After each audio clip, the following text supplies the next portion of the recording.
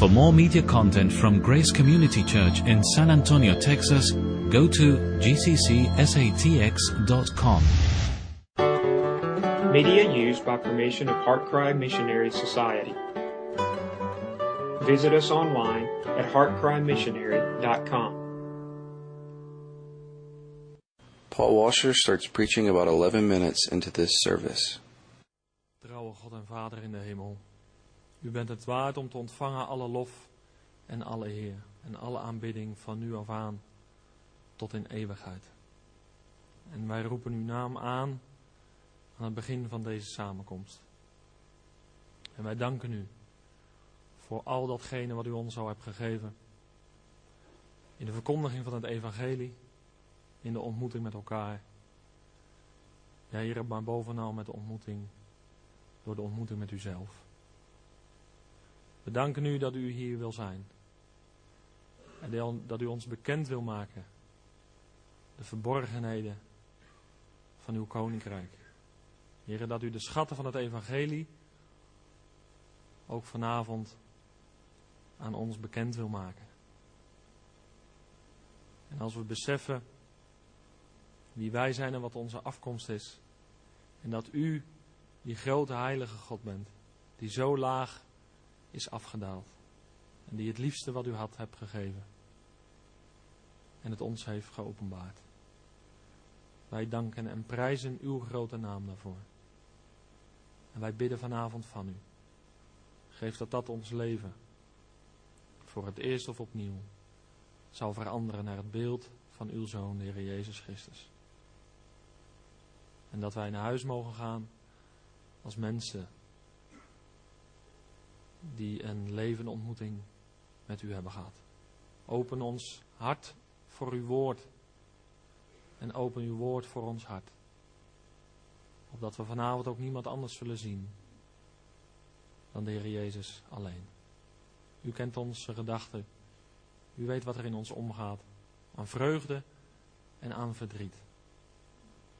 Dan wilt u alles wegnemen, opdat uw woord zijn loop zal hebben. En u ook vanavond alle eer en glorie zou ontvangen.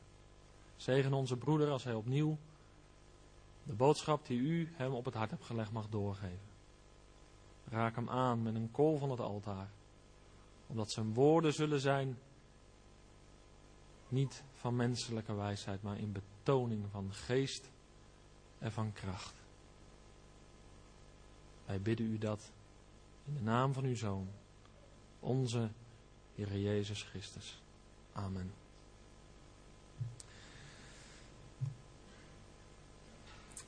We willen vanavond met elkaar nadenken over het thema goedkope genade, de grootste bedreiging voor het hedendaags christendom. En ter inleiding wil ik een paar versen lezen uit de eerste zendbrief van apostel Paulus die hij schreef aan de gemeente van Thessalonica.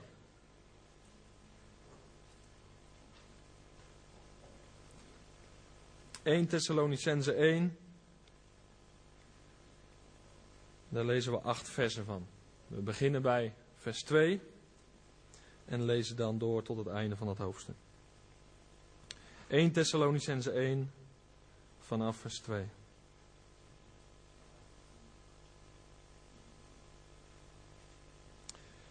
En daar staat het volgende. Wij danken God altijd over u, uw gedachtig zijnde in onze gebeden.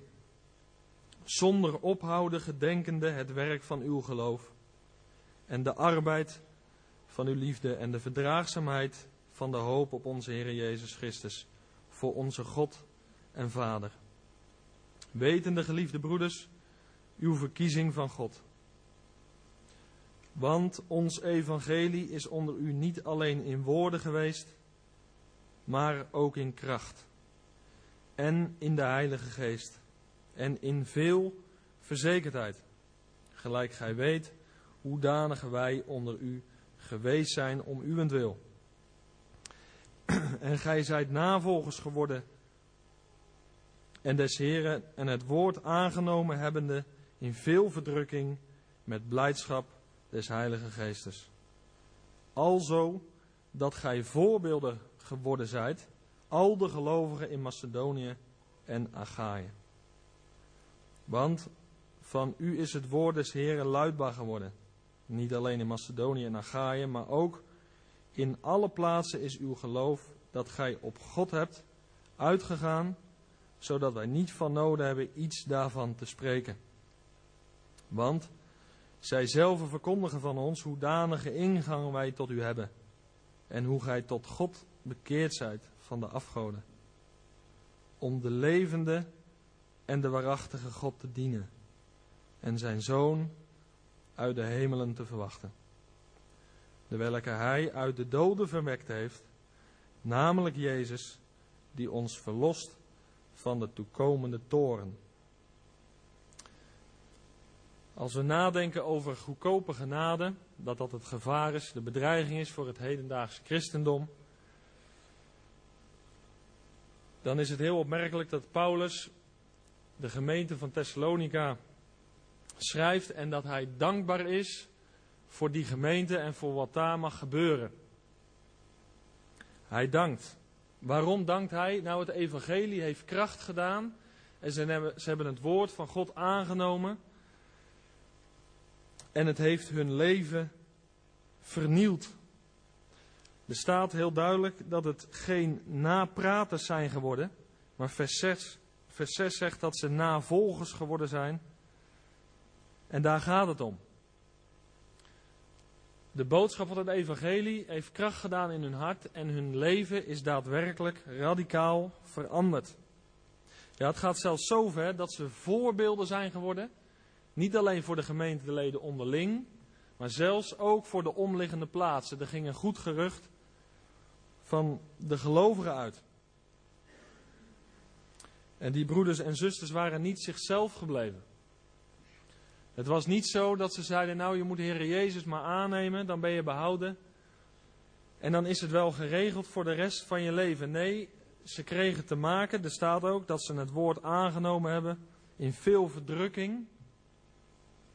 Maar ze zijn vast blijven houden aan het woord van de levende God. Het was dus niet een opwelling. En ze kregen het niet voor niks in die zin dat het allemaal van een leien dakje ging als het ging om het volgen van de Heer Jezus Christus. En het is belangrijk dat wij ons dat beseffen, ook vanavond. Zalig worden, dat doen we op kosten van een ander. Het evangelie wordt ons allen om niet aangeboden. En we mogen dat aannemen door genade. Maar als het gaat over het volgen, over het discipelschap, over het volgeling zijn van de Heer Jezus, dan kost dat een prijs. En die prijs, dat is je eigen ik. En de vraag is of wij vanavond de Heer Jezus niet alleen kennen als onze heiland, als onze verlosser, maar dat wij Hem ook aanvaarden als onze koning, als onze Heer, als degene die het voor het zeggen heeft op alle terreinen van ons leven. En het is heel opmerkelijk wat we lezen in de laatste twee versen, in vers 9 en in vers 10. Paulus die getuigt van drie dingen in de gemeente van Thessalonica. Het eerste is dat de gemeente zich van de afgoden tot God bekeerd heeft. Ze zijn 180 graden omgegaan, hun zonde beleden, de afgoden vaarwel gezegd en een nieuw leven gaan leiden. En dat is het tweede wat hij zegt. Dat ze de levende en de waarachtige God zijn gaan dienen. Hun leven was dienstbaar aan het werk in Gods wijngaard. En het derde, dat is dat ze zijn zoon uit de hemelen verwachten. Drie dingen. Ze hebben zich bekeerd van de afgoden. Ze zijn in de praktijk van alle dag de Heeren gaan dienen. En hun leven wordt gestempeld door de verwachting van de spoedige komst van de Heer Jezus in de lucht. En Paulus die kan voor deze drie dingen de gemeente. Hij spreekt zijn dank richting, die richting de gemeente uit dat God het zover heeft gebracht en dat dat hun leven stempelt. En het is ook voor ons als stichting hebben we maar één verlangen. En dat is dat deze drie belangrijke zaken die Paulus naar voren brengt in vers 9 en 10. De enige reden waarvoor wij dankbaar kunnen zijn. Dat als het woord ook wat dit- weekend en de komende week gebracht wordt, ons leven zo vernielt.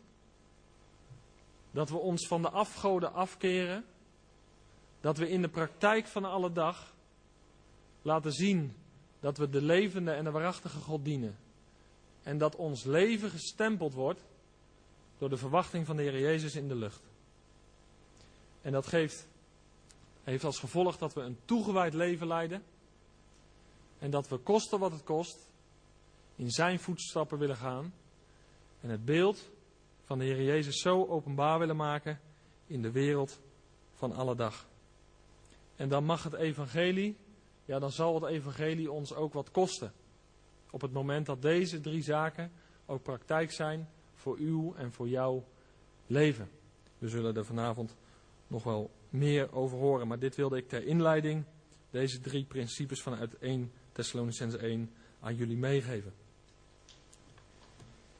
Tonight I have been asked to speak on the subject of cheap grace. Ik ben gevraagd om vanavond te spreken over het onderwerp goedkope genade. How many of you are familiar with Diedrich Bonhoeffer and his book that refers to cheap grace? Hoeveel van jullie zijn bekend met het boek van eh, Dietrich Bonhoeffer, da- waarin hij het heeft over goedkope genade? Okay, many of you. Velen van jullie. Let's go the Lord in prayer. Laten we tot de Heer gaan in gebed. Father, I come before you and I pray that you would uh, that you would speak to us through your word. Lord, there are so many needs, and yet you are able to multiply bread to feed the multitude. Father, I feel like a man who goes to his neighbor's house and says, I have guests, but I have no bread to lay before them. Please give me bread. Father, there are many people here. And in my weakness, I feel that I have very little to lay before them. So I pray that you would give me bread, that bread would multiply, your people would feed and be strong. Lord, bless this service and do in it what you would desire to do. In Jesus' name, amen. Amen.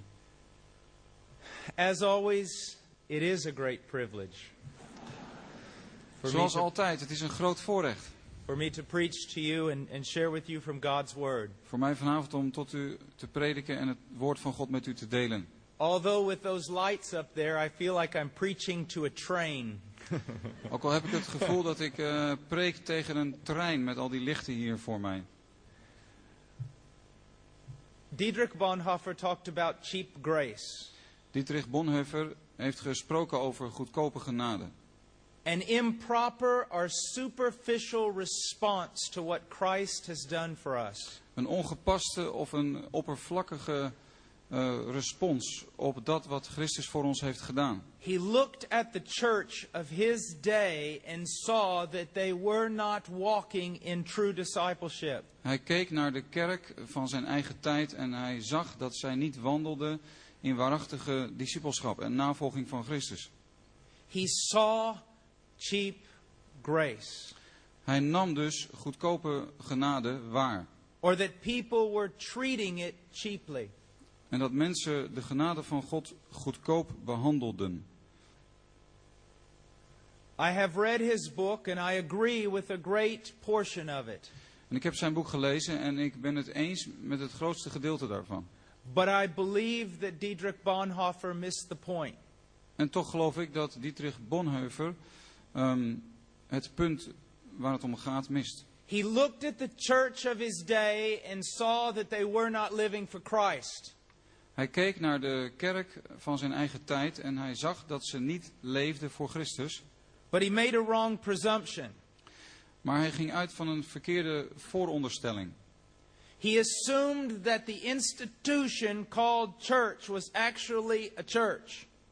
Want hij veronderstelde namelijk dat het instituut kerk, het instituut kerk, de kerk was. He did not see that just because someone professes Christ, it does not make them truly a Christian. Hij zag niet dat eh, wanneer iemand eh, gewoon Christus beleidt, He, hem of, dat, dat hem of haar nog niet een christen maakt. he was not looking at Christians who were not following Christ. Hij keek niet naar christenen die Christus niet volgden, But he was looking at people who were professing Christ but were not actually Christian. maar hij keek naar mensen die wel Christus beleden, maar eigenlijk geen christen waren. And that brings us to the subject of regeneration. En dat brengt ons bij het onderwerp van de wedergeboorte. When someone is truly a Christian, Wanneer iemand werkelijk een christen is, they have been regenerated by the Holy Spirit. Dan zijn zij wedergeboren door de Heilige Geest. They have become a new creature. Ze zijn een, nieuw schepping, een nieuwe schepping geworden. And they will live a new way. En zij zullen een ander leven leiden. Those who have believed in Christ Zij die zijn gaan geloven in Christus, will continue to be sanctified by Christ. zullen ook geheiligd worden door Christus. They will continue to be led by Christ. En zij zullen voortdurend geleid worden door Christus. They will continue to be transformed by En Christ. zij zullen voortdurend veranderd worden door Christus. One of the problems I have with many of the missionary statistics in Europe and the West Eh, een van de problemen die ik heb met alle zendeling, zendingsstatistieken eh, in het Westen, is that they simply assume that everyone who confesses Christ is Christian. is dat zij ervan uitgaan dat een ieder die eh, Christus beleidt, christen is. They assume that every institution that calls itself a Christian church is actually a church. Ze gaan ervan uit dat elke, insti- eh, elk instituut dat zichzelf een christelijke kerk noemt, ook een christelijke kerk is. But they are wrong. Maar ze zitten ernaast. If it does not act like a Christian, it is not a Christian. Want als iemand niet handelt als een christen, dan is hij geen christen. If it does not have the characteristics of a church, it is not a church. En als iets niet de eigenschappen van een kerk heeft, dan is het ook geen kerk. There have been many churches planted throughout all of the West. En in het Westen zijn er heel veel kerken gesticht. Some of them were planted a hundred years ago, En sommige werden 100 jaar geleden gesticht. some 200 years ago. En sommige 200 jaar geleden. And when they were planted, they were vibrant, living churches. En toen die gemeentes gesticht zijn, waren het levende, levende gemeenten. But that does not mean that they are still a church. Maar dat betekent niet dat als ze vandaag nog bestaan, dat ze nog steeds kerk zijn. Even in Asia Minor, Jesus warned the churches. Zelfs in Klein-Azië waarschuwde Jezus de gemeenten. Only a few decades after his death and resurrection, En dat was slechts enkele tientallen jaren na zijn dood en opstanding.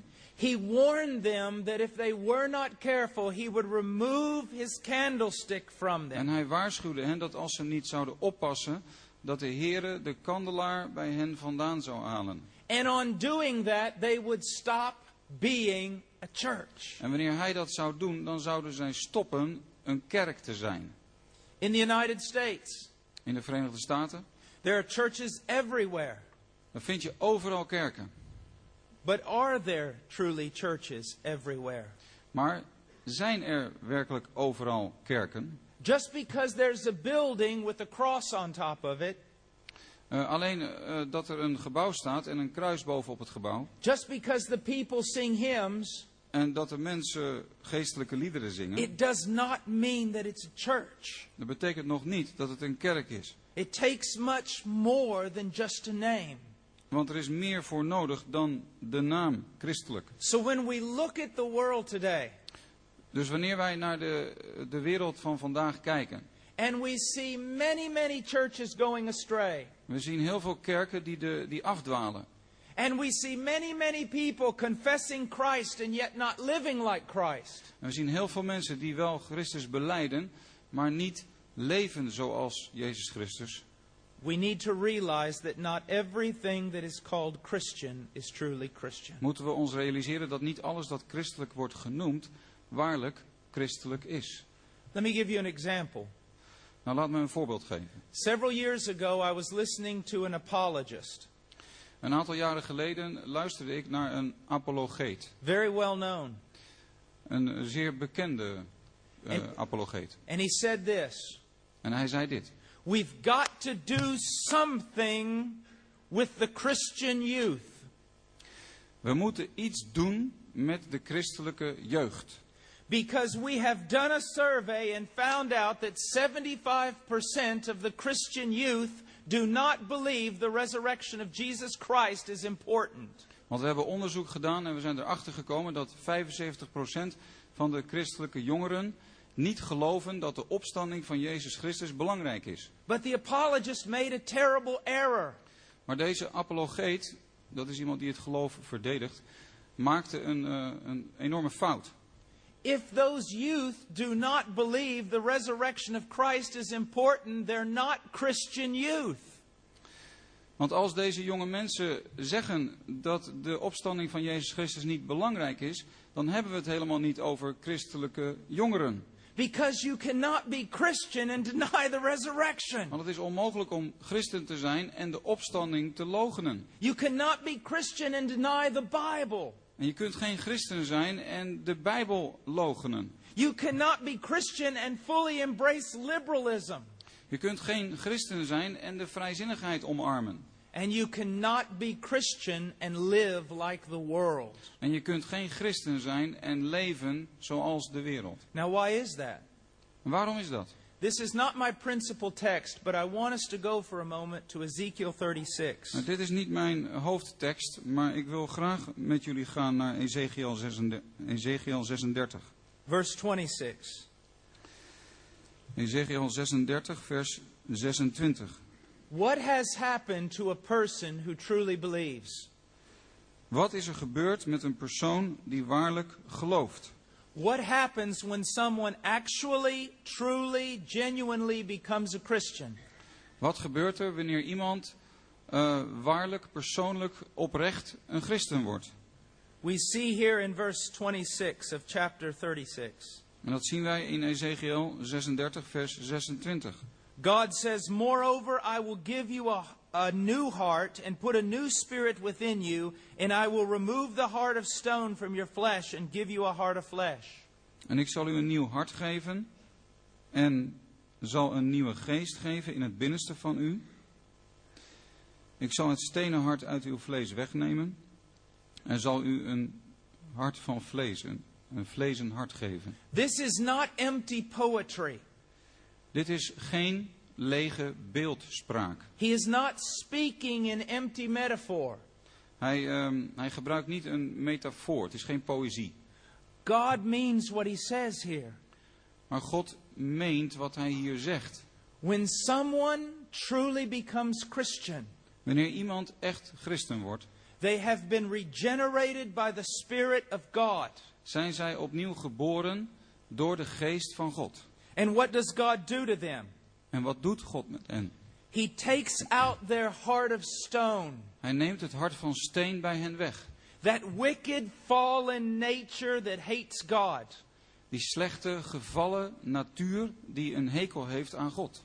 That stony heart that cannot respond to God. Dat hart van steen dat niet kan reageren naar God toe. He takes it out and replaces it with a heart of flesh. Dat stenen hart neemt hij weg en hij plaatst daarvoor in de plaats een hart van vlees. A heart that will respond to Him, Een hart dat wel antwoord geeft op hem. that will, will hear His call, En dat zijn roep zal verstaan. and that will follow Him. En dat hem zal volgen. That's why you must understand that conversion is more than just a person making a decision. En daarom moet je begrijpen dat de bekering meer inhoudt eh, dan dat een persoon een beslissing neemt. It's a supernatural work of the Spirit of God, Maar het is een bovennatuurlijk werk van de geest van God. whereby the very heart of a person is changed. Waardoor het hart van de persoon is veranderd. Let me give you an example. Nou, laat me je een voorbeeld geven. If Oscar was a statue of stone, Als eh, Oscar een eh, stenen beeld zou zijn, I could kick him, dan zou ik hem kunnen schoppen. I could punch him, Ik zou hem kunnen stompen. I could pinch him, Ik zou hem kunnen knijpen. I could scream at him, Ik zou tegen hem kunnen schreeuwen. and what would he do? En wat zou hij doen? Nothing.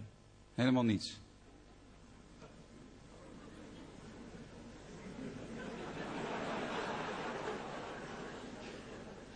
Because he's stone. Omdat hij van steen is. Stone does not move, Een steen beweegt niet it does not hear, en hoort niks. it does not respond to any stimuli whatsoever. En die reageert helemaal niet op welke stimulans dan ook. But he's not stone, Maar hij is niet van steen. he's flesh. Hij is vlees. If I punch him, Als ik hem stomp, he will respond. dan, dan zal hij reageren. If I pinch him, Als ik hem knijp, he will respond. dan zal hij reageren.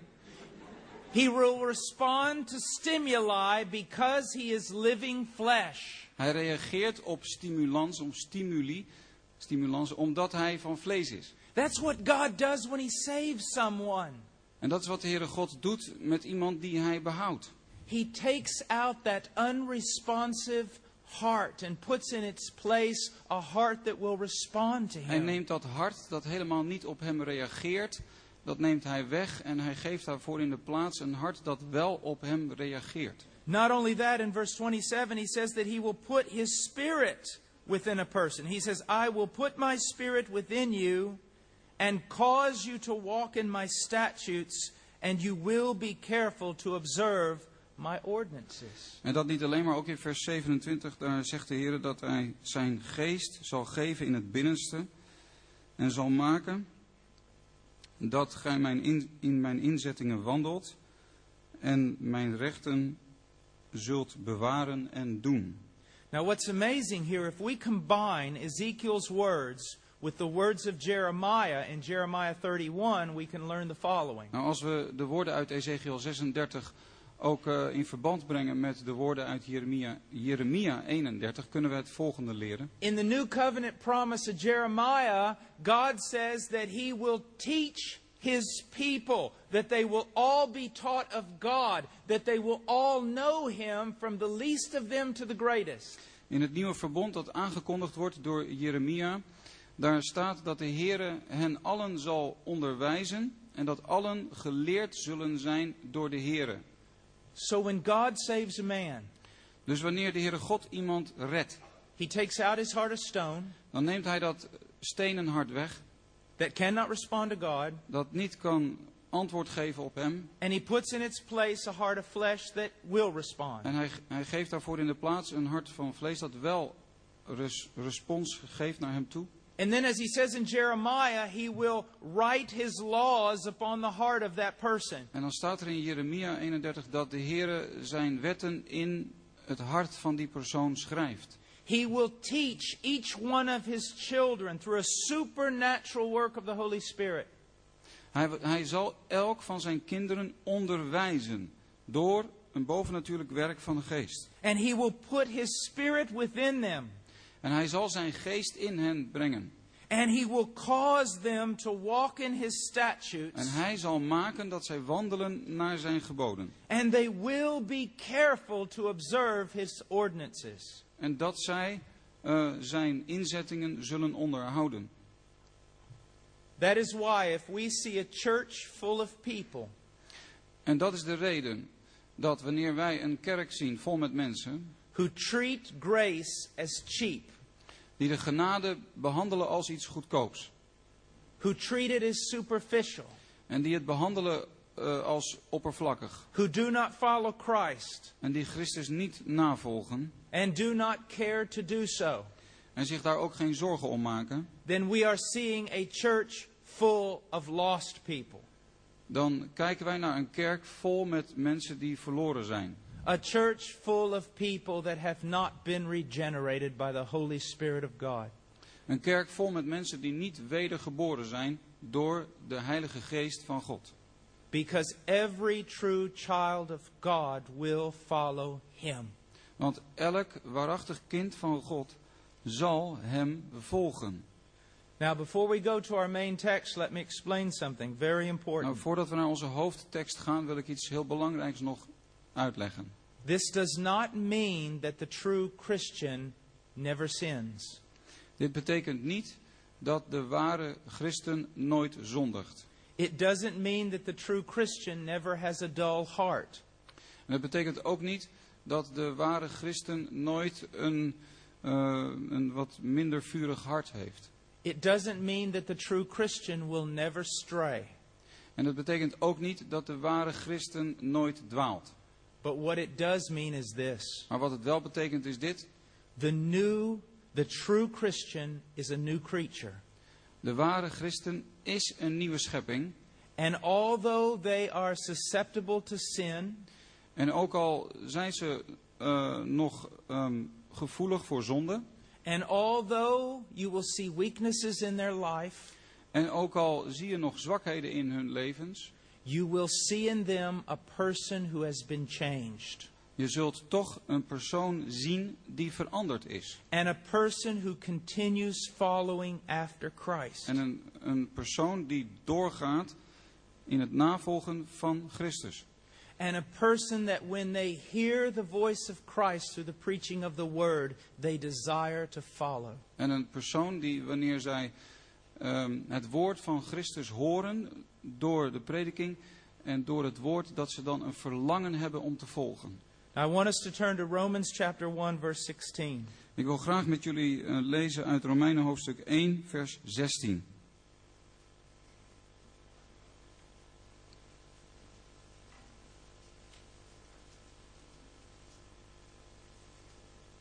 For I am not ashamed of the gospel, for it is the power of God for salvation to everyone who believes, to the Jew first, and also to the Greek. Want ik schaam mij het evangelie van Christus niet, want het is een kracht Gods tot zaligheid. Een ieder die gelooft, eerst de Jood en ook de Griek. Let me say this Paul's flesh had every reason to be ashamed of the gospel. Nou, laat me dit zeggen. Ehm, als we denken aan Paulus naar het vlees, dan had hij alle reden om zich te schamen voor het evangelie. Because the true gospel of Jesus Christ contradicts every, every philosophy and thought of this age. Want het evangelie van Jezus Christus gaat dwars in tegen elke eh, filosofie, elke levensfilosofie van de huidige tijd. If you are going to identify with Jesus Christ, you are going to put yourself in a place where you are going to have to suffer shame. Als jij je gaat identificeren met Jezus Christus, dan plaats je jezelf in een situatie waarin je ook eh, schande over je heen zult halen. We live in a world that hates Christianity. Want we leven in een wereld die een hekel heeft aan het, het christelijk geloof. that mocks the gospel of Jesus Christ. En dat spot met het evangelie van Jezus Christus. and a world that hates anyone who seriously seeks to follow Jesus Christ and proclaim his gospel. En we leven in een wereld die ehm, werkelijk een hekel heeft aan iedereen die serieus en eerlijk Jezus Christus wil navolgen en het evangelie wil prediken. There was a time when the West was a stronghold of Christianity. Er is een tijd geweest waarin het Westen ehm, een, ehm, heel sterk was wat betreft het christelijk geloof. But that is no more. Maar die tijd is voorbij. Every year it is getting darker and darker. En elk jaar wordt het meer duister en meer duister. And the opposition against Christianity is getting stronger and stronger. En de tegenstand jegens het christelijk geloof wordt sterker en sterker. And if you are going to follow Jesus Christ in these next few decades, En als jij de Jezus Christus wilt na- gaat navolgen de komende tientallen jaren, you must prepare yourself to suffer shame. dan moet je jezelf erop voorbereiden dat je schande zult lijden. You must prepare yourself for persecution, Je moet jezelf voorbereiden op vervolging. and possibly in many forms that you never dreamed. En misschien wel eh, vervolging eh, in vormen waar je nog nooit aan hebt gedacht. Just look around you. Kijk maar eens om je heen. Look at what's going on. Wat gebeurt er? The noose is closing in around our neck. The rope is closing on around our Oké, neck. het touw dat, eh, dat, dat eh, wordt gelegd om onze nek. They're passing laws all over the place about hate crimes. En er worden allerlei wetten, eh, uit, wetten vervaardigd. Hate crimes. Where if you say something, it's considered hateful and they put you in prison. Ja. Hate crimes. Dat, dat, eh, dat als, je, als je bepaalde dingen zegt, dan wordt er daarvan gezegd dat dat haatzaaiend is. En dan stoppen ze je in de gevangenis. In different places in the West, Christian preachers have been thrown in jail. Op verschillende plaatsen in de westerse wereld zijn predikers van het evangelie gevangen gezet. just because they said homosexuality was a sin. Alleen maar omdat zij eh, zeiden dat homoseksualiteit een zonde is. If you faithfully proclaim the gospel of Jesus Christ, Als jij eh, op een getrouwe wijze het evangelie van Jezus eh, proclameert of daarvan getuigt. and you faithfully try to point out the sins of men who are dying without Christ, En als je getrouw bent, eh, ook de, de, zonde, de zonde noemt en dat mensen verloren gaan als ze Christus niet leren kennen. you could go to prison. Dan kan het zijn dat je gevangen wordt gezet. If you try to evangelize other religions, Als jij gaat proberen om mensen van andere godsdiensten met het evangelie te bereiken, you could go to prison. Kan het zijn dat je gevangen wordt gezet. If you say someone else is wrong, Als je zegt dat een ander eh, fout is, you could go to prison kan het zijn dat je gevangen wordt gezet. and suffer great shame. En schande leidt. That is something of the world that the Apostle Paul lived in. En dat is iets eh, van de wereld waarin ook de apostel Paulus zich bevond. And that will be something of the world that we live in in just a few years. En dat zal deel uitmaken van de wereld waarin wij in slechts jaren tijd ons zullen bevinden. Are you truly Christian? Ben je waarlijk christen? Will you follow him? Wil jij, zal jij hem volgen? Will you proclaim his name? Zal jij zijn naam verkondigen? Will you rebuke the nations for their sin? Zul jij de volkeren eh, bestraffen vanwege hun zonde? Even though it cost you your job, Ook als het je misschien je, je baan kost. even though it cost you your family, Of als het je je gezin kost. even though it cost you your freedom, Of als het je je vrijheid kost. even though it cost you your life. Of als het je je leven kost.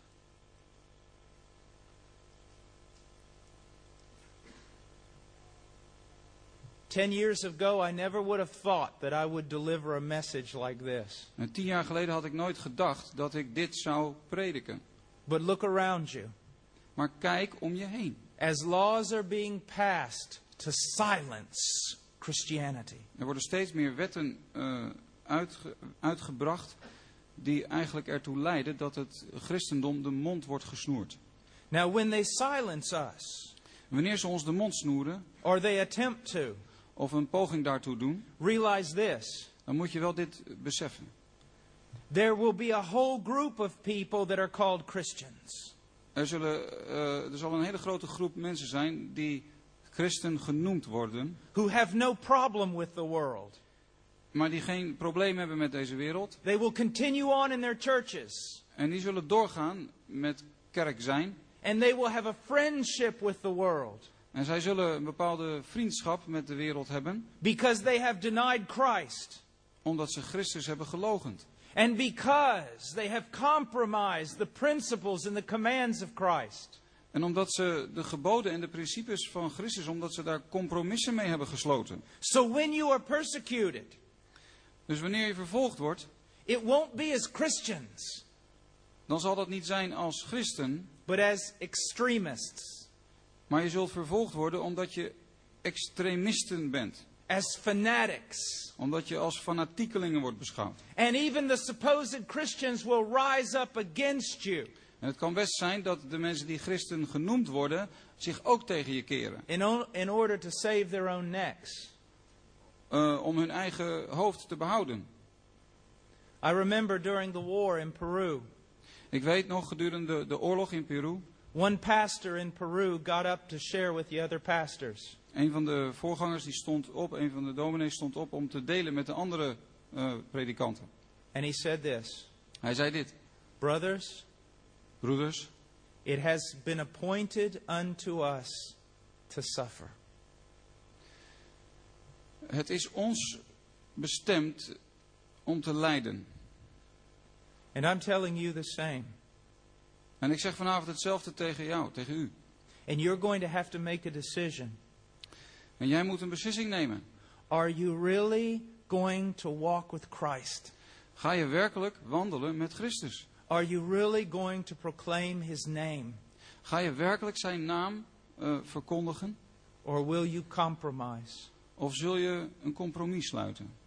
Paul's flesh had every reason to be ashamed of the flesh, of, of the gospel. Nou, het vlees van Paulus had alle reden om zich te schamen voor het evangelie. Because his gospel contradicted the world. Omdat zijn evangelie dwars tegen de wereld inging. And if you make a stand and preach the same gospel, En als jij je positie inneemt en hetzelfde evangelie predikt, your gospel will contradict the world. dan zal jouw evangelie ook dwars tegen de wereld ingaan. And because of it, the world will hate you.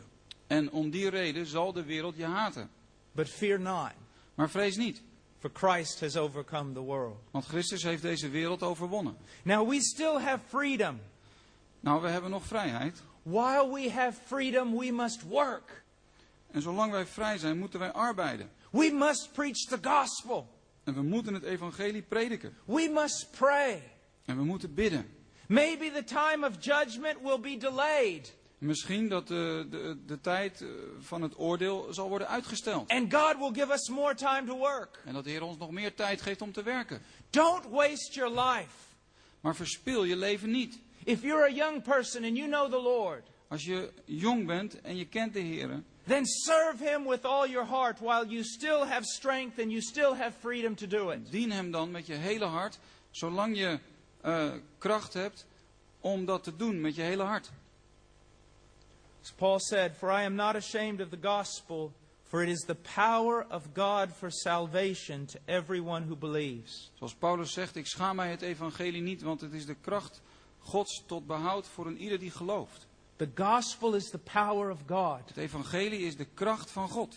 What will change a man? Wat zal een mens veranderen? The preaching of the gospel of Jesus Christ. De prediking van het evangelie van Jezus Christus. What will bring revival to a nation? En wat zal herleving brengen aan een volk? The gospel of Jesus Christ. Het evangelie van Jezus Christus. Don't rely on something else. Vertrouw op niets anders. Don't rely on eloquent words. En vertrouw niet op eh, schone woorden. Don't rely on evangelistic programs and missionary En strategies. vertrouw niet op eh, evangelisatieprogramma's of zendingsstrategieën. Open your Bible and preach the gospel. Maar open je Bijbel en predik het evangelie. Porque, because only the gospel, only the gospel is the power of God unto salvation. Omdat alleen het evangelie de kracht van God is tot behoud. Now it's the power of God for salvation. Het is de kracht Gods tot behoud. What does that mean? Wat betekent dat? That the gospel will justify you? Dat het evangelie je rechtvaardigt. That through the gospel you can be saved? Dat door het evangelie je gered kunt worden. That through the gospel you can miss hell? Sorry? That through the gospel you can miss hell so you don't Oh, go to oké. hell? Dat je door het evangelie de hel kunt vermijden. Yes, Ja, but it means much more than that. maar het betekent veel meer dan dat. You see, when we talk about salvation, many times we only think in one tense. Ja, wanneer wij denken aan de behoudenis of de, de zaligheid, dan denken wij vaak slechts in één tijd. We only think of one aspect of salvation We denken vaak maar aan één aspect van de behoudenis. justification. de rechtvaardigmaking. But the gospel is not only the power of God to justify us, Maar het evangelie is niet alleen Gods kracht om ons te rechtvaardigen. It is also the power of God to sanctify Het us is ook de kracht van God om ons te heiligen. and to lead us on to glory. En om ons eh, te leiden door dit leven naar de heerlijkheid toe.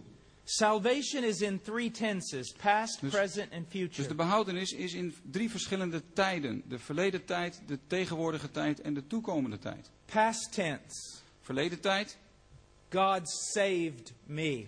God heeft mij behouden. He saved me from the condemnation of sin. Hij heeft mij behouden van de veroordeling wegens de zonde. Present tense Tegenwoordige tijd. He is saving me from the power of sin. Hij redt mij nu van de kracht van de zonde. That is sanctification. Dat is heiliging. And future tense, He will one day save me from the presence of sin. En de toekomende tijd, er zal een dag zijn waarop hij mij redt en behoudt van de tegenwoordigheid van de zonde. The evidence that you have truly believed the gospel unto salvation En het bewijs dat je werkelijk in het evangelie hebt geloofd tot zaligheid, is that the God who saved you continues to save you. is dat de God die je heeft behouden, doorgaat met je te behouden.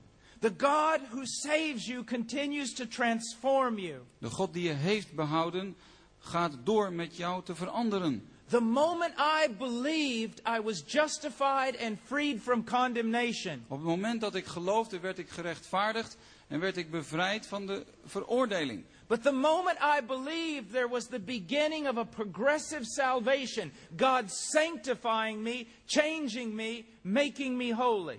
Maar op het moment dat ik geloofde, begon er ook een heel proces van levensheiliging, waarin de Heere God mij heiligt en mij verandert en mij meer heilig maakt. And that work will continue in me until I go home to glory. En dat werk in mij, dat zet zich voort tot op het moment dat ik de heerlijkheid in zal gaan. How do you know that you've been justified? Hoe weet je dat je gerechtvaardigd bent? It's because the one who justified you continues to sanctify you.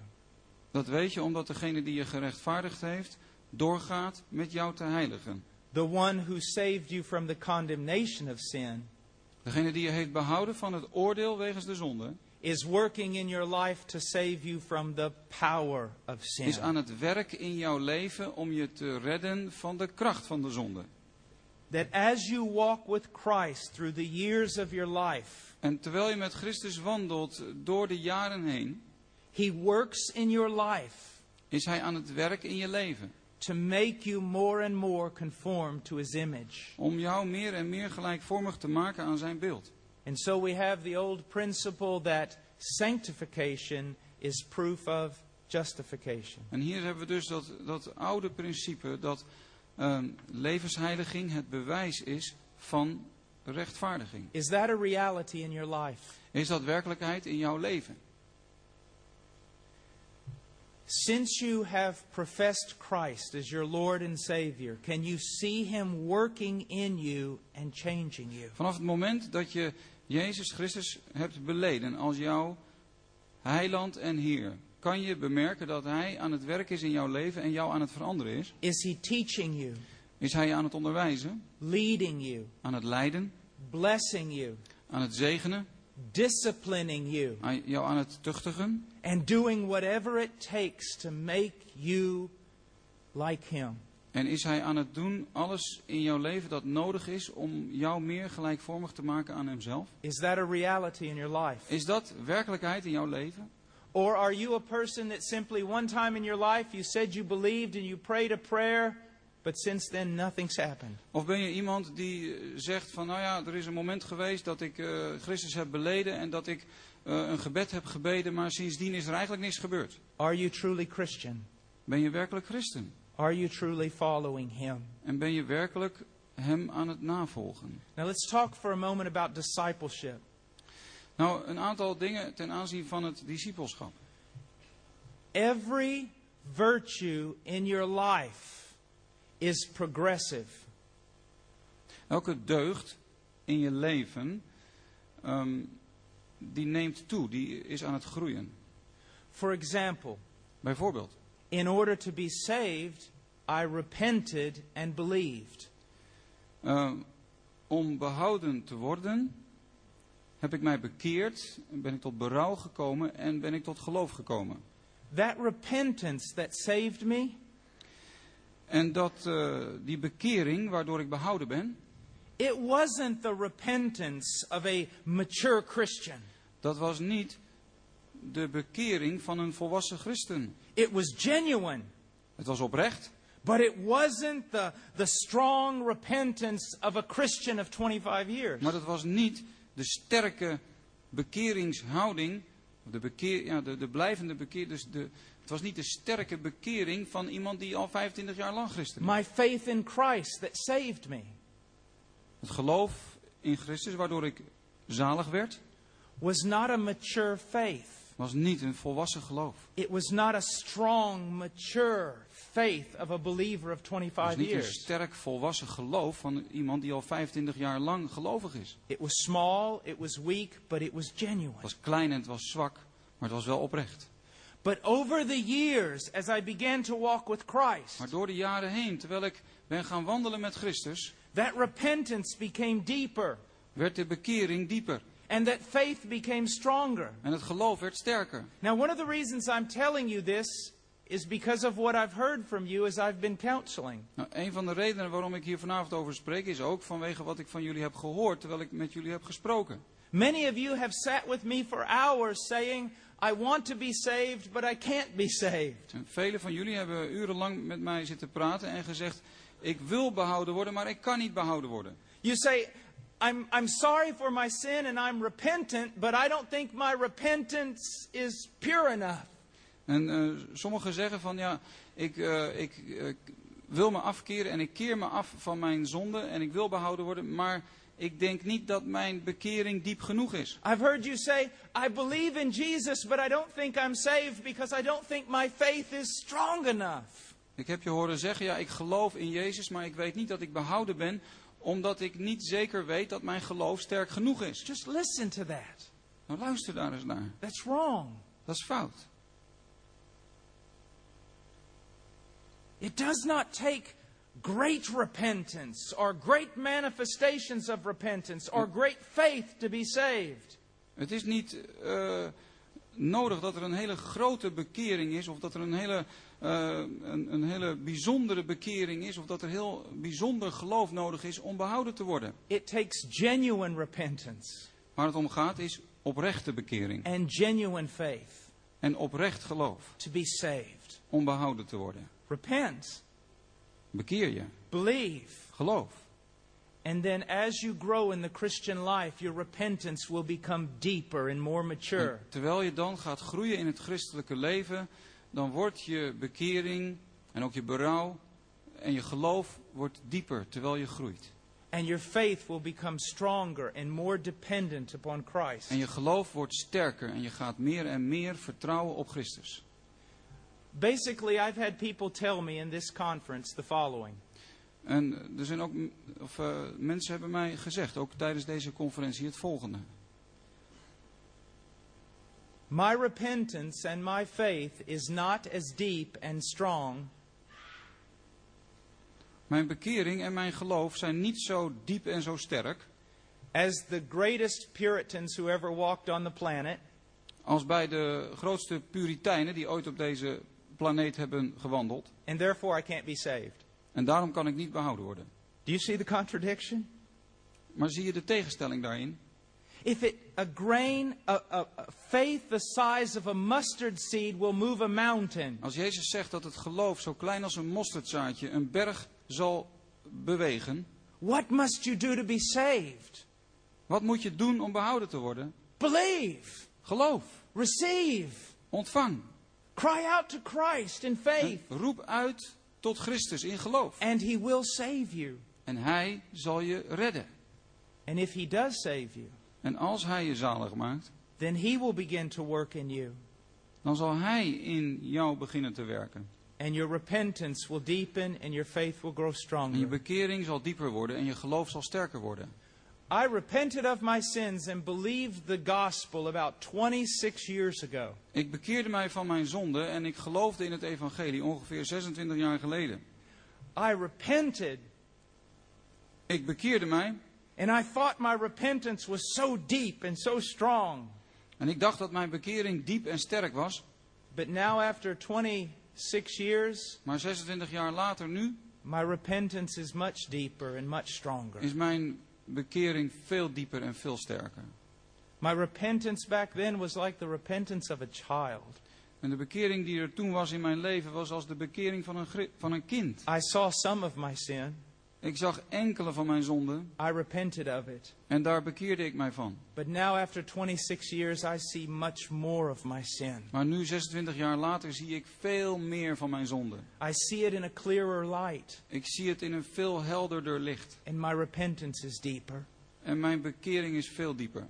I believed the promise of God 26 years ago, Ik geloofde in de belofte van de Heere God, 26 jaar geleden. and Christ saved me. En Christus heeft mij toen behouden. But that faith of a child Maar dat, dat kinderlijke geloof over the years has grown and grown and is door grown de jaren heen is het gegroeid en gegroeid en gegroeid. so that I have much more assurance and strength in Christ. Zodat ik nu vandaag veel meer verzekerdheid en sterkte in Christus heb. When I first trusted Christ as my Savior, I believed that I was depending totally upon Him. Toen ik de eerste keer op Christus vertrouwde als mijn verlosser, eh, dacht ik dat ik helemaal op hem vertrouwde. But over 26 years, that dependence has grown stronger and stronger. Maar al die 26 jaar lang is dat vertrouwen en die afhankelijkheid van hem veel sterker geworden. This is what it means that the power of God, that the gospel is the power of God unto salvation. En dit is wat het betekent wanneer Paulus zegt dat het evangelie Gods kracht is tot zaligheid. You repent and believe, Je bekeert je en je gelooft and God continues to work, en God gaat door met zijn werk. deepening that repentance, En hij verdiept de, het, het berouw en de bekering. strengthening that faith, En hij versterkt het geloof. making you more holy, Hij maakt jou meer heilig. drawing you closer to En Him, hij eh, trekt jou nader tot hemzelf. Breaking off the things of the world so that they no longer hold on to you. En hij breekt de dingen van de wereld in jouw leven af, zodat je niet meer in de grip bent van de dingen van de wereld. Is that what God is doing in your life? Is dat wat God aan het doen is in jouw leven? Can you see God working in your Kan life? je de Heere God aan het werk zien in je leven? Then that is a great sign that God has saved you. Dan is dat een heel duidelijk teken dat God je zalig heeft gemaakt. I want us to go to John chapter 1. Ik wil graag met jullie gaan naar Johannes hoofdstuk 1. Verse 12 or verse 11 and 12 Johannes 1, vers 11 en 12.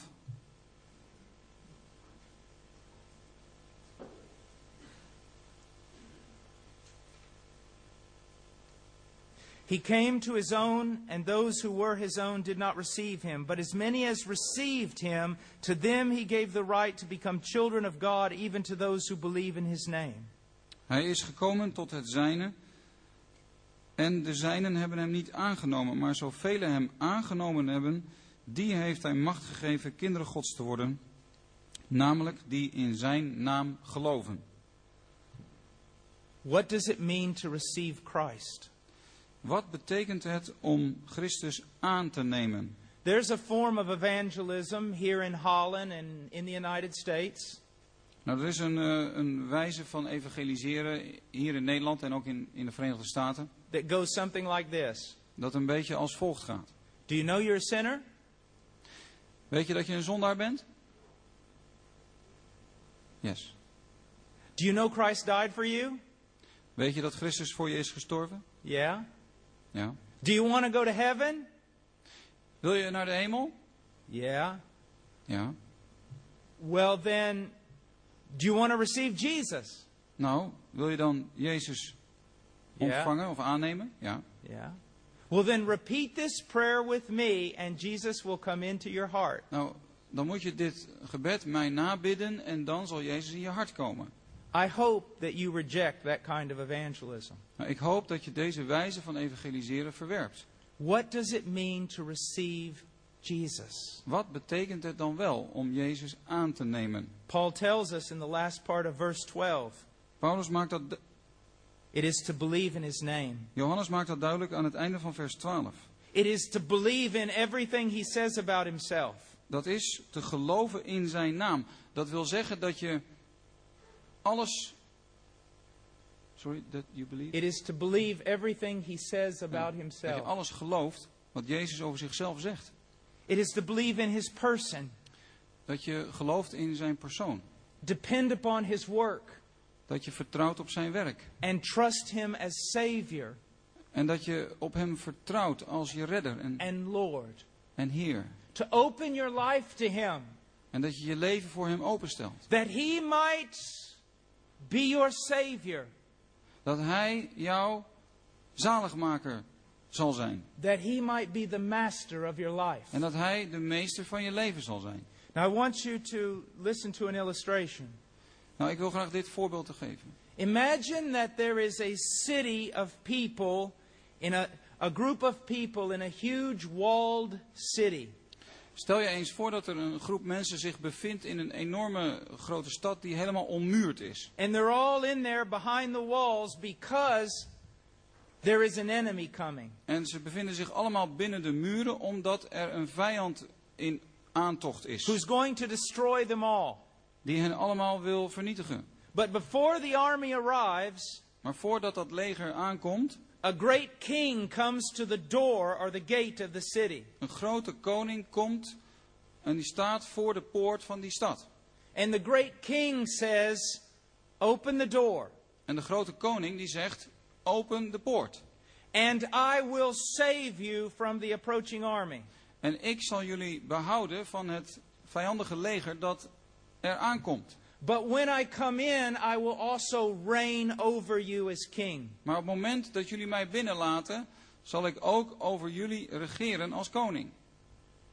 That's the way Jesus approaches the heart. Dat is de wijze waarop Jezus ons hart benadert. That's the way Jesus approaches the sinner. En dat is de wijze waarop Jezus de zondaar benadert. Destruction is coming. Eh, de vernietiging is aanstaande. And he says, I can save you. En Jezus zegt, ik kan jullie daarvan redden. And so the sinner throws open the doors of his life. Dus de zondaar die opent de deur van zijn leven. But Jesus says, wait. Maar Jezus zegt dan, wacht even. If I come into your life, Als ik jouw leven mag binnenkomen, I will save you. dan zal ik je behouden. But I come in as king. Maar ik kom binnen als koning. And when I come in, I take over. En als ik binnenkom, dan neem ik de regie in handen. You come down from the throne, En dan moet jij van de troon af. and I go up there. En ik neem plaats op de troon. You're no longer king. Dan ben jij niet langer koning. I am. Dat ben ik dan. Now, I want you to look at something very important about what it means to receive Jesus. Ik wil dat je hier naar kijkt. Dit is heel belangrijk ten aanzien van wat het betekent om Jezus te aanvaarden. Look at verse 11. Want wat staat er in vers 11? He came to his own, and those who were his own did not receive him. Hij is gekomen tot de zijnen en de zijnen hebben hem niet aangenomen. He came to his own things, or he came to his own people. Hij kwam tot zijn eigen volk. That means that the Christ came to the Jews, En dat betekent dat Jezus kwam voor het Joodse volk. and they did not receive him or welcome him. En zij hebben hem niet ontvangen, niet aangenomen, hem niet welkom Now, I gegeven. want you to think about something for a moment. En ik wil dat je hierover nadenkt. What was the Jewish concept of the Messiah? Wat was het Joodse beeld ten aanzien van de Messias? Did they believe that he would be a savior? Geloofden zij dat hij een redder zou zijn? Yes. Ja, But they believed something else, maar ze geloofden iets anders, even more important, nog belangrijker, or gave greater emphasis to it. waar ze meer de nadruk op legden. The Messiah was the son of David, De Messias was de zoon van David and he would not only deliver his people, en hij zou zijn volk niet alleen bevrijden, but he would take the throne of David. Maar hij zou ook plaatsnemen op de troon van zijn vader David. He would be king. Hij zou ook koning zijn. The Jews not only rejected Jesus as Savior, De Joden hebben Jezus niet alleen afgewezen als redder of heiland, but they rejected him as king. maar ze hebben hem afgewezen als koning. And that is why they said, We will have no king over us but Caesar. En dat is waarom zij zeiden: Wij hebben geen andere koning over ons behalve de keizer. There's a belief today that you can believe in Jesus Christ as Savior and not be Lord and not Lord and still be saved. Er is een geloof vandaag de dag dat zegt dat je Jezus kan aannemen als de behouder van je leven, maar hem niet aanvaarden als je Heer en Koning. But that is a lie. En toch christen zijn, maar dat is een leugen. The Jews rejected him as Savior, De, de Joden hebben hem afgewezen als redder and they rejected him as Lord. en ze hebben hem afgewezen als Heer. If you are going to receive him, En als je hem aanneemt to open your life to him, en je leven voor hem openstelt, you welcome him as Savior, dan heet je hem welkom als redder and you welcome him as Lord. en je heet hem welkom als Heer. He does not make any compromise. En hij sluit geen compromis. But now, what does it mean to have him as our Savior and Lord? En wat betekent het dan om hem te hebben als onze heiland of redder en Heer?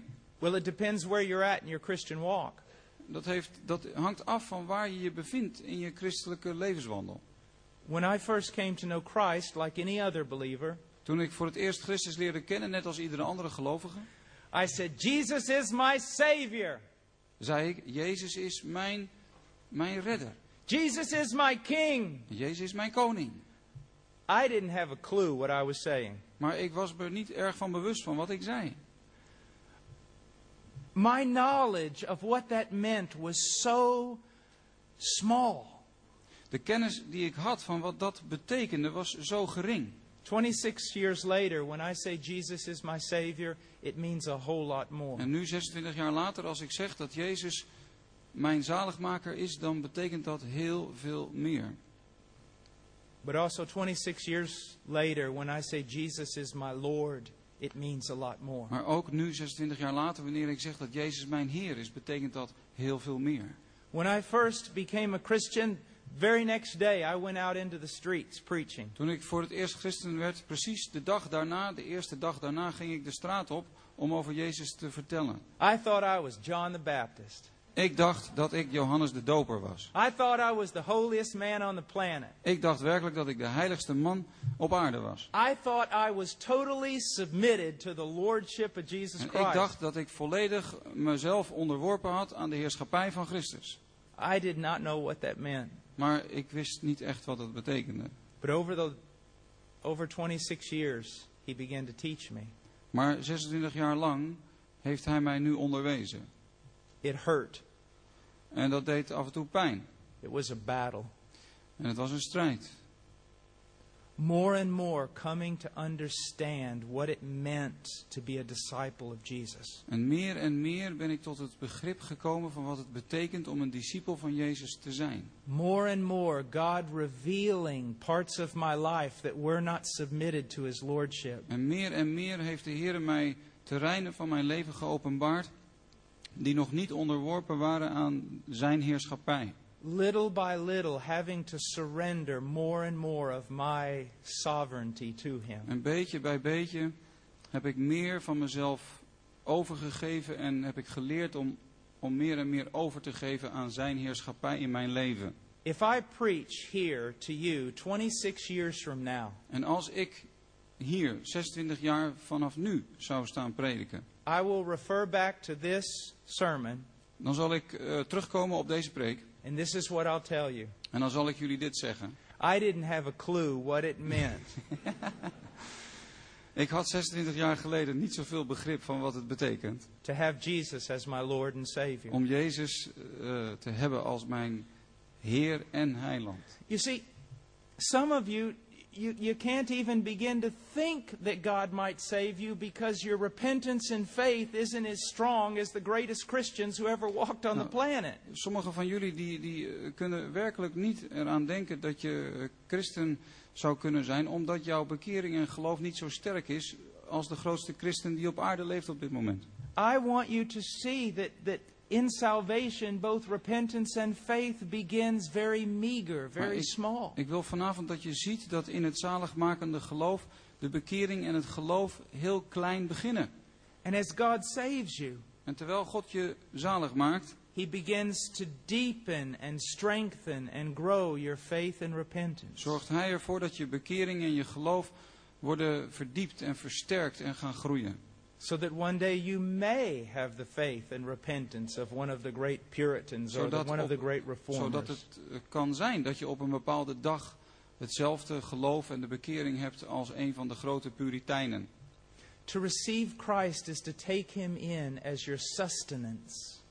Om Christus te ontvangen betekent dat je hem welkom heet als degene die jou onderhoudt. Let me give you an example Laat me je een voorbeeld geven from the West. Uit het Westen.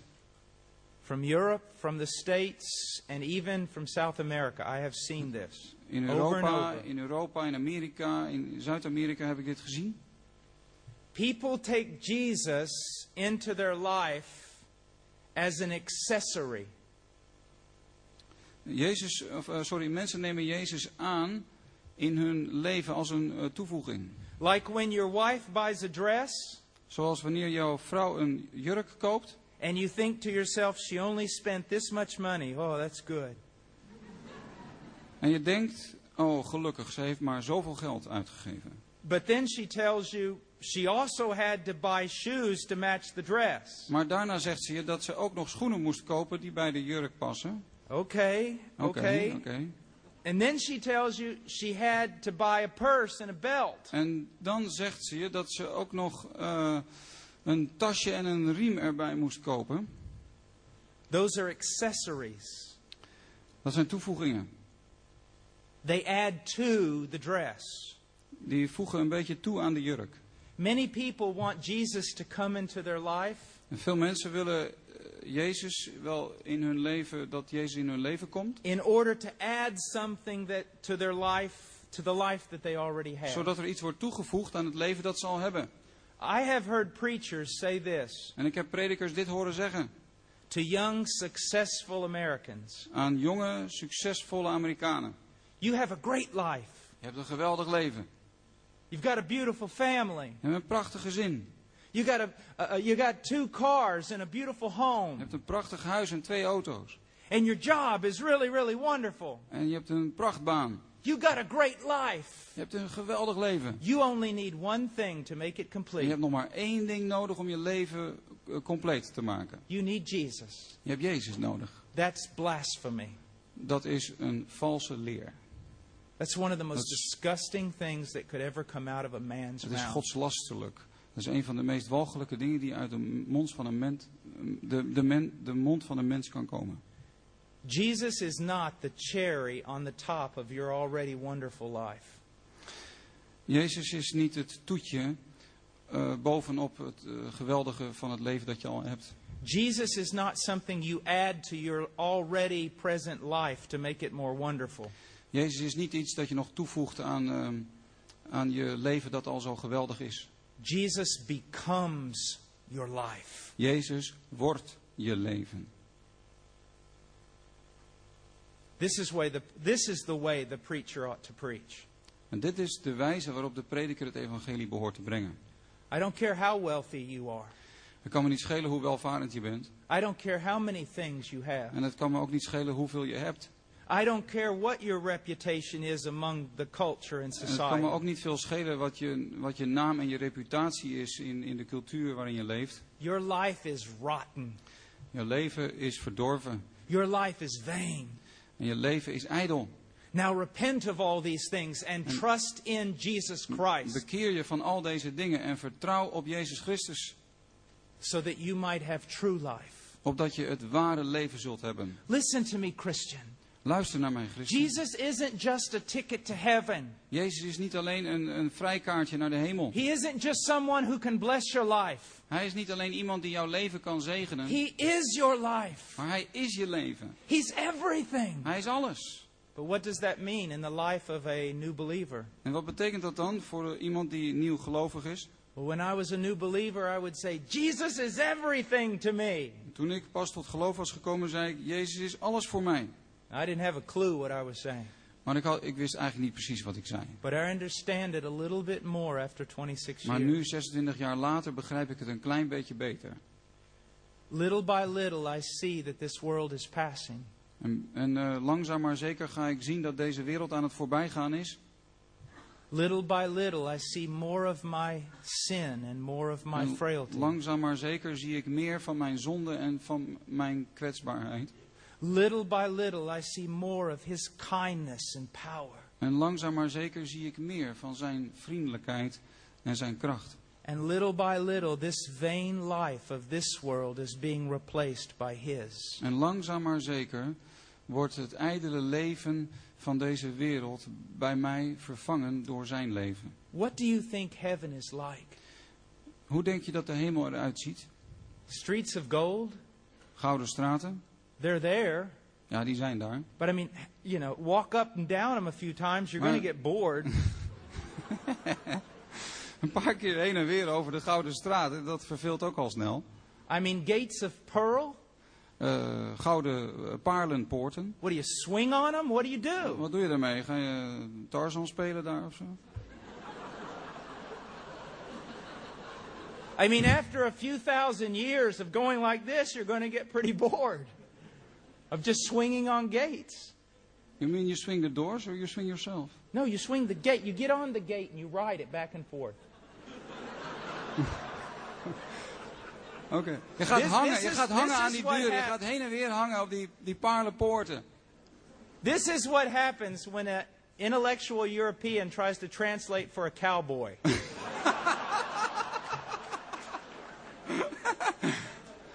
you get on the gate and you ride it like it was a horse. Ja. Okay. Hij wil dus in de hemel rodeo gaan eh, rijden op die paarlenpoorten. What do they teach you people in school?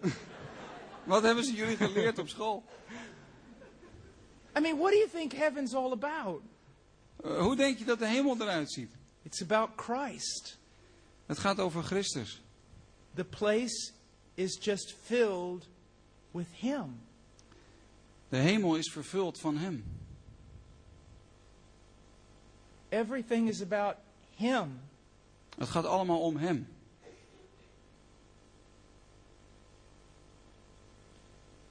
And that's one of the great differences between a brand new believer and a mature believer. En dat is een van de grote verschillen tussen een, iemand die pas tot geloof is gekomen en iemand die meer volwassen is geworden in het geloof. Do you know what the new believer does? Weet je wat de eh, pasgelovige doet? What some of you are doing. En wat sommigen van jullie doen? Talked to some of, so many of you in the last two days. Ik heb de afgelopen twee dagen al met zoveel van jullie gesproken. And you're, you're looking at inward at yourself. En je kijkt naar binnen, naar jezelf. My repentance isn't big enough. Mijn bekering is niet goed genoeg. My faith isn't strong Mijn enough. geloof is niet sterk genoeg. I have so many failures here ik, ik faal zoveel op dit gebied. And so many failures En there. ik faal zoveel op dat gebied. But you know what happens as you grow in Christ? Maar weet je wat er gebeurt als je gaat groeien in Christus? You begin to stop looking at yourself Dan begin je af te zien van jezelf. and you just look at Him. En dan begin je te kijken naar Hem. You know what you are. Je weet, You know your je failures. weet wie je zelf bent. Je kent je eigen falen. You know your sin and your Je weakness. kent je zonden en je zwakheden. But you just look to Him. Maar je kijkt naar Hem. Look to Him. Je kijkt naar Hem. Let me finish by giving you a, a little story that happened a few years Ik ago. wil afsluiten met een verhaal met jullie te delen wat een paar jaar geleden heeft plaatsgevonden. A seminary student wrote me an email, Een theologiestudent die eh, schreef mij een e-mail. and he said, Brother Paul, I am just wicked and ignorant, and I can't follow Christ. En hij schreef, Brother Paul, ik ben eh, een slecht iemand en ik ben eh, onwetend en ik kan niet Christus volgen. And so I wrote him back. Dus ik schreef hem terug. I said, Dear brother, Ik schreef, eh, dierbare broeder, you are much more wicked and ignorant than you now know. je bent nog veel slechter en je bent nog veel meer onwetend dan jij nu doorhebt. I have the gift of encouragement. Ik heb de gave van bemoediging. So he called me on the phone and said, Brother Paul, Dus hij belde mij op en hij zei, Brother Paul, thanks. nou, hartelijk dank hoor. I said, Listen to me. Ik zei, luister, You're one of the finest young men I know. Je bent een van de meest mooie jonge mannen die ik ken. And I can see that you're seeking hard after Christ. En ik zie dat je heel erg zoekt naar Christus. Sometimes your life convicts me. Soms ben ik door jouw leven overtuigd van mijn zonde. You're probably holier than I am, Ik denk dat jij heiliger bent dan ik. but I'm happier than you are. Maar ik ben gelukkiger dan jij bent. And he said, Why? En toen zei hij waarom? You're looking at yourself. Ik zei tegen hem, jij kijkt zo naar binnen naar jezelf. You're looking at your own virtue to find peace. Je kijkt naar je eigen deugden en je eigen goedheden om vrede te vinden. You're looking at the strength of your own commitment to find rest. En je kijkt naar de, de, de kwaliteit van je eigen toewijding om vrede te vinden. You're looking at your performance to find joy. Je kijkt naar hoe goed jij het doet om daar vrede in te vinden. I stopped doing that a long time ago. Lang geleden ben ik gestopt om dat te doen. I look inside, I can't find anything that would make me strong Als or binnen- joyful or secure. Als ik naar binnen kijk, dan kan ik eh, niets vinden dat mij sterk, vreugdevol en verzekerd maakt. So I look to Him. Dus kijk ik naar Hem. You're trusting in your works. Jij vertrouwt op je werken. I'm trusting in the finished work of Jesus Christ on my behalf. Ik vertrouw op het volbrachte werk van Jezus Christus, van Jezus Christus voor mij. Your works are constantly changing. Jouw goede werken die eh, gaan met ups en downs. So therefore your peace and your assurance are constantly En changing. dus gaan jouw vrede en jouw verzekerdheid heel erg op en neer. But I'm looking to the person and works of Christ. Maar ik kijk naar de persoon en het werk van Christus. He never changes. Hij verandert nooit. So my joy is always constant. Dus is mijn vreugde eh, constant. And my peace is always a reality. En de vrede die ik heb is altijd een werkelijkheid. Because it comes from Him. Omdat het van Hem komt. If I could want anything for you, it would be that. Als er iets is wat ik voor jou wil, is het dat. That you would stop looking inside because you're not going to find anything there. Dat je ermee stopt om naar binnen te kijken, want je zult daar helemaal niets vinden. That you would look to Christ. En dat je kijkt naar Christus. And that His glory and His salvation would motivate you to serve Him with everything you have.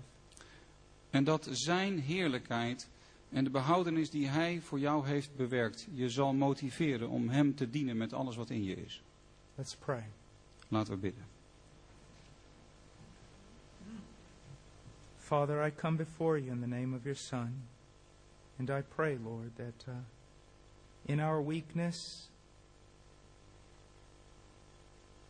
in our great weakness, that you would use these, these words to help your people. In Jesus' name, amen.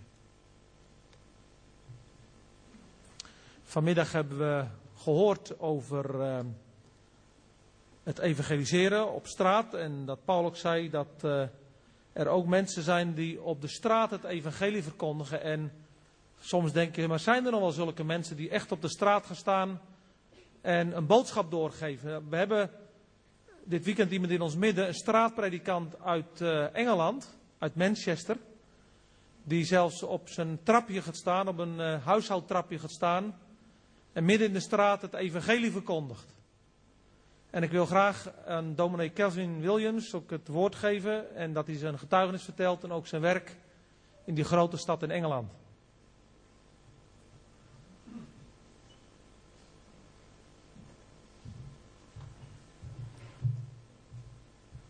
Hello. Let's pray. Father, I pray you'd help me, Lord. I pray you'd be glorified. You would speak to people, Lord, through what you've done in my life and what you are doing. We thank you in Jesus' name. Amen.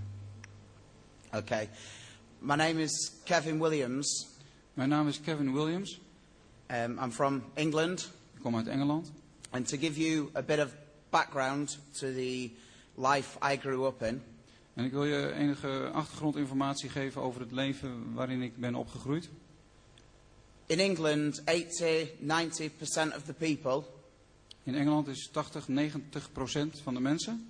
they have some sort of infant, uh, infant baptism, eh, zij ondergaan eh, de kinderdoop.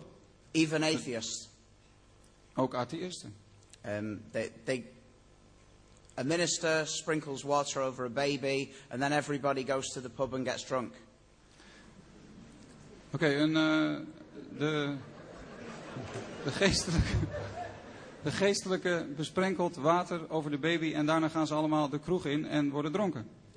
And then they never go to church again En ze gaan nooit naar de kerk until their funeral. totdat er een begrafenis plaatsvindt. And then the pastor then says, This person is now in heaven. En dan zegt de, eh, de dominee, deze persoon is nu in de hemel. And that was the type of Christianity I grew up with. En dat is het soort eh, christendom waarmee ik ben opgegroeid. When I went into secondary school, Toen ik naar de middelbare school ging, I learned about evolution, kreeg ik te horen over evolutie. and I professed to be an atheist. En toen begon ik te beleiden dat ik atheïst was.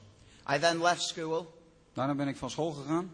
and I drank up as much sin as I could in various ways. En daarna heb ik zoveel zonde ingedronken als ik maar kon op eh, verschillende wijzen.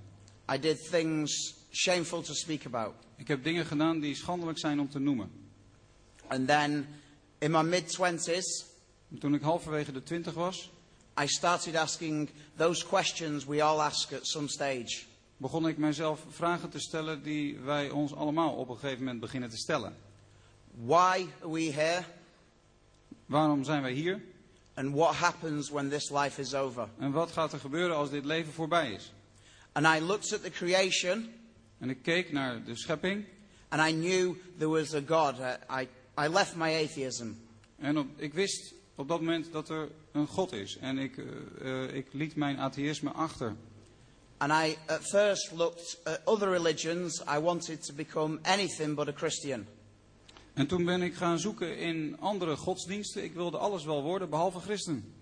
But I couldn't buy any of them. They were just like fairy tales. Maar ik kon eh, geen daarvan aannemen, want ze kwamen op mij over als sprookjes. And then I started to read the Bible as a history book. Toen begon ik de Bijbel te lezen als een soort geschiedenisboek. And around the same time, I went to a high Anglican church, very Catholic. En ongeveer diezelfde tijd begon ik te gaan naar een eh hoogliturgische Anglikaanse kerk. And after a long time searching, I knew this was all true. En na lange tijd zoeken kwam ik erachter dat de Bijbel waar is. I was very impressed with the Bible's prophecy. Ik kwam zeer onder de indruk van Bijbelse profetieën. The Bible could predict the future and was always accurate. In de Bijbel werd de toekomst voorspeld en het was altijd nauwkeurig. In Psalm 22, written 1000 BC, In Psalm 22 bijvoorbeeld, dat 1000 voor Christus is geschreven. in verse 16 it says, They pierced my hands and my feet. In eh, vers 16 bijvoorbeeld, daar staat, ze hebben mijn handen en voeten doorboord. Yet that prophecy was written 1000 BC, Die profetie werd 1000 voor Christus geschreven. and crucifixion in all its forms was not even invented until another 400 years in 600 BC. Maar eh, kruisiging op welke wijze dan ook bestond helemaal niet in die tijd. Dat kwam pas vanaf 400 voor Christus. So I knew this book was all true. Dus ik kwam erachter dat de Bijbel waar is. I knew it was supernatural. En ik kwam erachter dat de Bijbel bovennatuurlijk is. I knew there was a heaven and there was a hell. Ik wist dat er een hemel en een hel is. But I still wasn't a Christian. En toch was ik nog geen christen. I believed Jesus. Ik geloofde in Jezus. I could tick all the essential doctrines on paper. En ik kon over alle belangrijke leerstukken wel iets op papier zetten. But so could the devil. Maar dat kan de duivel ook. And I was going to church on a Sunday. Ik ging op zondag naar de kerk. And on the Saturday night before, I was in nightclubs doing all sorts of things. Maar op de zaterdagavond daarvoor bevond ik mij in nachtclubs en deed ik van allerlei dingen. And, but I cleaned my life up to some extent, but I still wasn't a Christian. Nou, ik, eh, ik ruimde mijn leven wel tot op zekere hoogte op, maar ik was nog niet echt christen. I didn't know Jesus. Want ik kende Jezus nog niet. He was a distant deity to me. Maar hij was nog op, eh, op afstand van mij. And then one day I was listening to a sermon in the garden. In de garden. Yeah, it was on the internet. Op een dag luisterde ik naar een eh, preek op internet.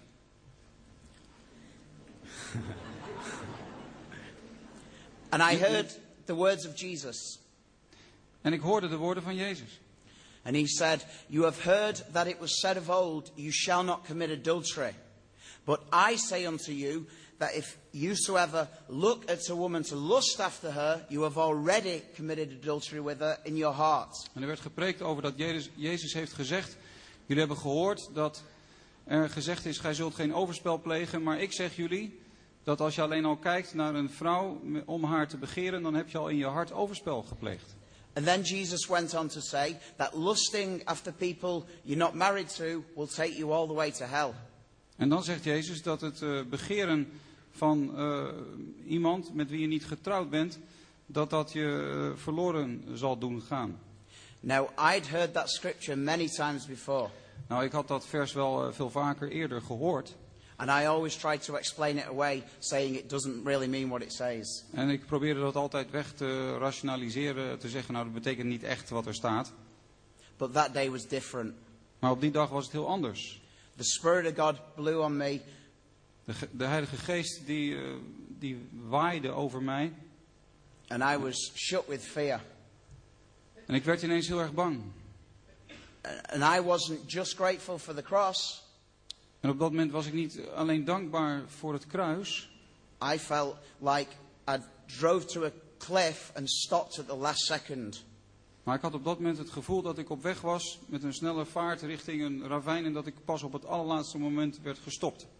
I was grateful that God didn't kill me last week or the week before. En ik was op dat moment buitengewoon dankbaar dat ik niet de week daarvoor of de week daarvoor was overleden. And all my sin was gone.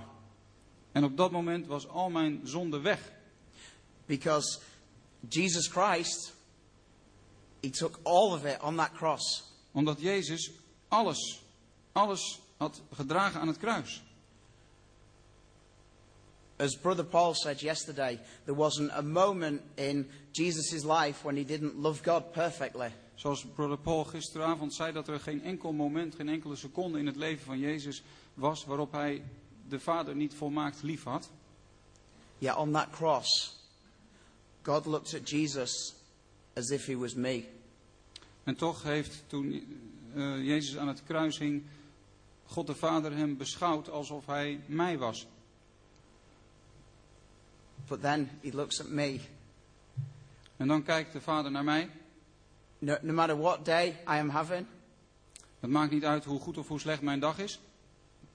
Jesus looks at God looks at me as if I have always perfectly loved the God with my heart, soul, mind, and strength.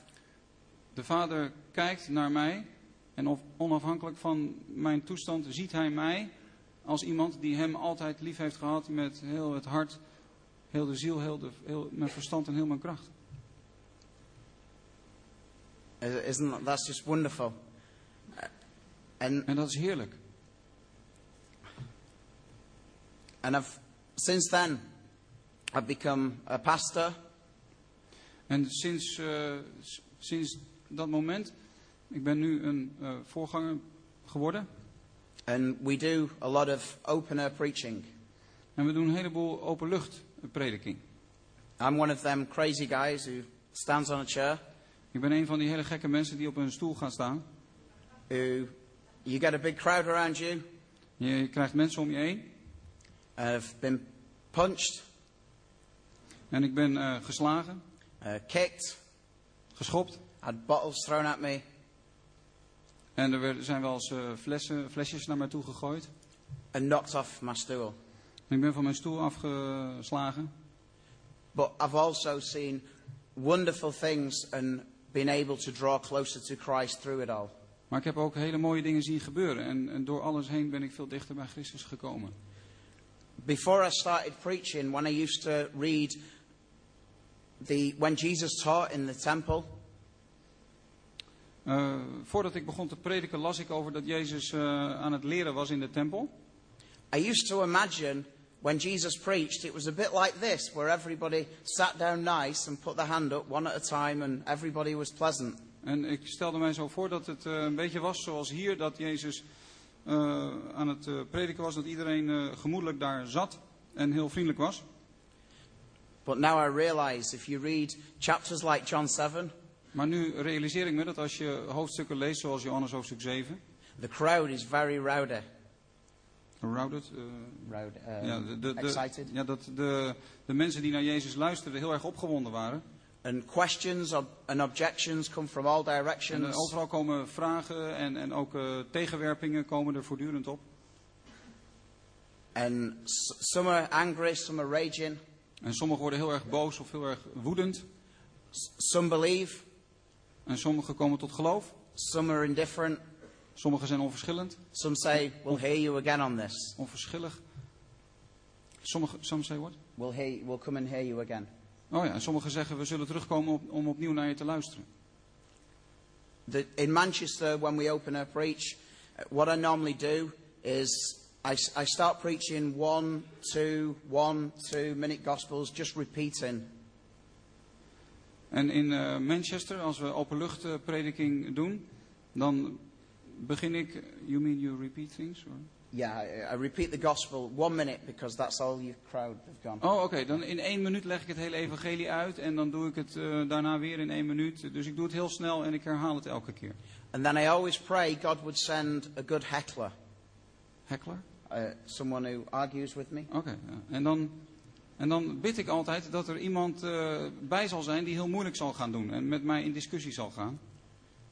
And it can happen at any time. I could be preaching for one minute, sometimes 20 or 30 minutes. En het kan op elk moment gebeuren. Soms gebeurt het al bij de eerste keer en soms pas na een half uur. And someone will- come along and will start arguing in the streets. En dan komt er altijd iemand en die begint met mij te discussiëren. And then other people will stop to watch. En juist door die discussie komen dan allemaal andere mensen erbij om er naar te kijken. And a good heckler can, can get you a crowd of 100 in a few minutes. En iemand die echt irritant is, die kan er al heel snel zorgen voor 100 mensen erbij. But sometimes the hecklers can be violent. En soms kunnen deze mensen ook wel gewelddadig worden. It's the atheists are the, the most violent. De atheïsten zijn het meest gewelddadig. The, the Muslims can get aggressive too. De moslims kunnen ook agressief worden. But I've never been hit by a Muslim. Maar ik ben nog nooit geslagen door een moslim. Sometimes the Muslims will threaten to beat me up. En soms dan eh, dreigen de moslims wel met eh, geweld. But I always remind them that they've just told me Islam is a religion of love. Maar dan herinner, ik- herinner ik hen er alt- altijd aan dat ze mij zojuist hebben verteld dat islam een godsdienst is van liefde. And they go, Oh, yeah. En dan staan ze met hun vuist klaar en dan zeggen ze, oh ja, je hebt gelijk. One time when I was preaching, I had a lot of Muslims around me. Eén keer toen ik aan het preken was, eh, waren heel veel moslims om mij heen. And I don't suggest you copy this. En ik eh, stel niet voor dat je dit eh, gaat nadoen. I asked the question, How many wives is a Muslim allowed? En ik stelde de vraag, hoeveel vrouwen mag een moslim hebben? Some said nine, some said ten. Sommigen zeiden negen, anderen tien. So then I asked them, How many. Uh, so- sorry, three or four, I think it is.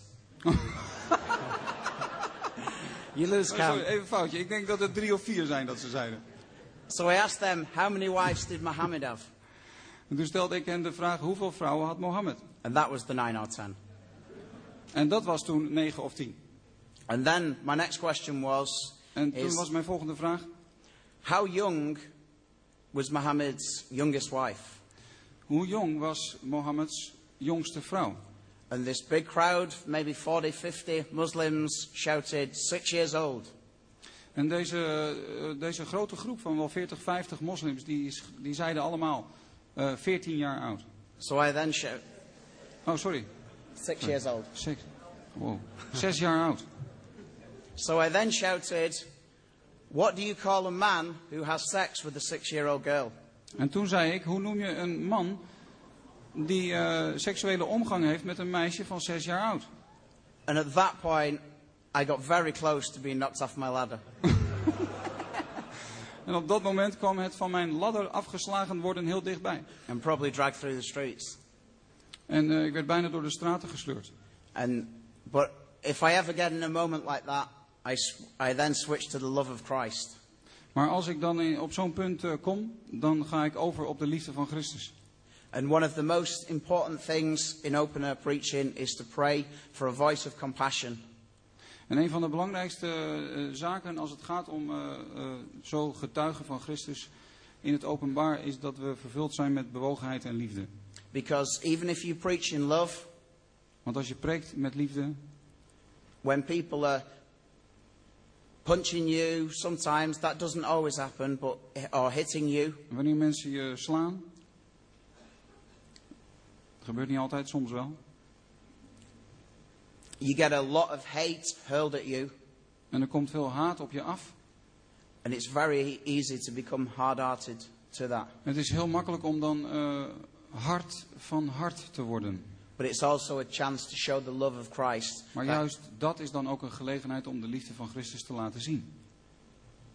And we, we must, we've counseled with homosexuals, En we hebben gesprekken gehad met homoseksuelen, homeless people, zwervers. but with the homeless people, we don't just witness to them. En als het gaat om zwervers, dan willen we niet alleen voor hen getuigen. Um, brothers in our fellowship have took them into their home, Maar eh, mensen van onze gemeente hebben hen soms in huis genomen. and we, we fed them. En we voeden hen. And the love of Christ wins people with our lives as well as our preaching. En de liefde van Christus die eh, wint mensen eh, door ons leven net zozeer als door onze prediking. There's no point in preaching Christ unless we live Christ. En er- het heeft helemaal geen zin om Christus te prediken tenzij we Christus ook leven. So, not everybody is called to preach in the streets, Ik geloof niet dat iedereen geroepen is om op straat te gaan preken. but you all have family and friends who you can share the gospel with. Maar jullie hebben allemaal familie en vrienden met wie jullie het evangelie kunnen delen. If you look, people say you can't witness to family members today. Eh, als mensen vandaag de dag tegen je zeggen, je kunt niet getuigen aan je eigen familieleden. Yet, if you look at the disciples, they went straight away and called their brothers. Maar als je kijkt naar de apostelen, die gingen wel gelijk naar hun broeders soms om hen erbij te halen. So, so we must. One more thing is when we're witnessing to people, don't expect God to move if we don't pray. Nou, een ander, iets wat ik zou willen noemen, als wij eh, uitreiken naar anderen om te getuigen van Christus, eh, kunnen we niet verwachten dat er iets gebeurt als we niet bidden. Many open air preaching groups I've seen will pray for five minutes before they preach. En veel eh, mensen die de straat op gaan, die bidden gewoon vijf minuten voordat ze dat gaan doen. I think it's worth praying for an hour, even if it means cutting the preaching time down. Ik denk dat het eh, zeer de moeite waard is om eerst een uur te gaan bidden, ook al betekent dat dat je minder tijd hebt om, om te getuigen. Then e- expect God to do great things. En je verwacht dan van de Heere God dat Hij grote dingen zal doen. And even when we're preaching in the street, it is a great privilege. En, en ook als we op straat prediken, is dat een groot voorrecht. Okay, thank you. Dank jullie wel.